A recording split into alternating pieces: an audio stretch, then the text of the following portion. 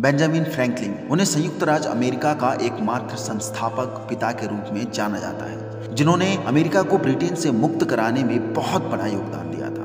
Franklin को स्वतंत्रता की घोषणा और अमेरिकी संविधान का मसौदा तैयार करने का श्रेय भी दिया जाता है। बेंजामिन फ्रैंकलिन का जन्म 17 अप्रैल 1790 को हुआ था। वे राजनीतिज्ञ ही नहीं, एक लेखक, व्यंग्यकार, वैज्ञानिक, आविष्कारक, सैनिक, राजनयिक एवं नागरिक कार्यकर्ता भी थे। आपने ज़रूर अमेरिकन डॉलर का नोट तो देखा ही होगा। अधिकांश नोटों पर बेंजामिन फ्रैंकलिन की ही फ़ोटो लगी होती है। बेंजामिन फ्रैंकलिन अमेरिकी इतिहास में बहुत प्रसिद्ध व्यक्ति रहे हैं। दोस्तों, आज इस पोस्ट में हम बेंजामिन फ्रैंकलिन के 30 सबसे महत्वपूर्ण, प्रेरणादायी व अनमोल विचार पढ़ेंगे। जब भी आप पानी की गहराई मापना चाहते हैं तो कभी भी दोनों पैरों का इस्तेमाल ना करें। अज्ञानी होना उतनी शर्म की बात नहीं है, जितना कि सीखने की इच्छा ना रखना है।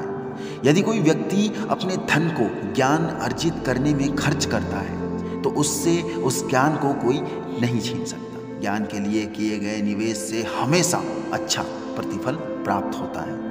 निश्चित रूप से इस दुनिया में कुछ भी निश्चित नहीं है सिवाय मृत्यु और करों के। आप रुक सकते हैं, लेकिन यह समय आपके लिए नहीं रुकता। हमें अपना खोया हुआ समय वापस नहीं मिलता। धन से आज तक किसी को खुशी नहीं मिली और ना ही मिलेगी। जितना अधिक व्यक्ति के पास धन होता है, वह उससे कहीं अधिक चाहता है। धन रिक्त स्थान को भरने के बजाय शून्यता को पैदा करता है। 20 वर्ष की उम्र में इंसान अपनी इच्छा से चलता है। तीस में बुद्धि से और चालीस में अपने निर्णय से।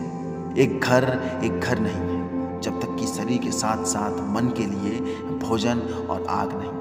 तैयारी में असफल होना मतलब आप असफल होने की तैयारी कर रहे हैं। संतुष्टि गरीब पुरुषों को अमीर बनाती है, असंतोष अमीर लोगों को गरीब बनाता है। छोटे छोटे खर्चों से सावधान रहिए, क्योंकि एक छोटा सा छेद भी बड़े से जहाज़ को डुबा सकता है। जीवन में दुखद बात यह है कि हम बहुत जल्दी बड़े हो जाते हैं, लेकिन समझदार देर से होते भगवान उनकी सहायता करता है जो स्वयं अपनी सहायता करते हैं। बुद्धिमान व्यक्तियों को सलाह की ज़रूरत नहीं होती। मूर्ख लोग इसे स्वीकार नहीं करते। पैर के फिसलने की चोट ठीक हो सकती है, लेकिन ज़ुबान फिसलने के बाद कुछ नहीं हो सकता है। अगर तुम मुझे कहोगे तो मैं भूल जाऊँगा। अगर तुम मुझे सिखाओगे तो मैं याद रखूँगा। लेकिन अगर तुम मुझे समस्याएँ सुलझाने में शामिल करोगे तो मैं सीख जाऊँगा। कुछ लोग 25 की उम्र में मर जाते हैं, लेकिन उनका अंतिम संस्कार पिछहत्तर वर्ष की उम्र में ही होता है। युद्ध वह होता है जब सरकार तुम्हें बताए कि बुरा कौन है। क्रांति वह होती है जब तुम अपने लिए निर्णय लेते हो। क्या आप जीवन से प्यार करते हैं? फिर समय बर्बाद ना करें, क्योंकि जीवन इसी से बना है। जिस व्यक्ति के पास धैर्य है, उसके पास वह सब कुछ हो सकता है जो वह चाहता है। जो बाहरी दुनिया में हमारे साथ घटित होता रहता है, हम उस पर नियंत्रण नहीं रख सकते। परंतु जो हमारे अंदर है, हम उसे तो नियंत्रित कर सकते हैं। अगर आप मृत्यु को भी प्राप्त हो गए, तब भी आपको भुलाया नहीं जाए। इसके लिए या तो कुछ लिखने योग्य लिख दो, या फिर लिखने योग्य कार्य कर लो।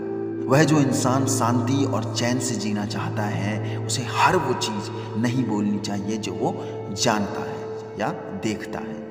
संतुष्टि गरीब पुरुषों को अमीर बनाती है और असंतोष अमीर लोगों को गरीब बनाती है। निरंतर विकास और प्रगति के बिना सुधार, उपलब्धि और सफलता जैसे शब्दों का कोई महत्व नहीं है। चीटी से अच्छा उपदेशक दूसरा और कोई नहीं, क्योंकि वह अपना काम करते वक्त हमेशा खामोश रहती है। चाल चलना और विश्वासघात करना मूर्खों का काम क्योंकि उनके पास इतना दिमाग नहीं होता कि ईमानदारी से कैसे काम करा जाए। इंसान ने अपने दुखों का एक बड़ा हिस्सा अपने झूठे अनुमानों के द्वारा बनाया है। जो इंसान बहाने बनाने में ज़्यादा अच्छा है, वह शायद ही किसी और काम में अच्छा हो।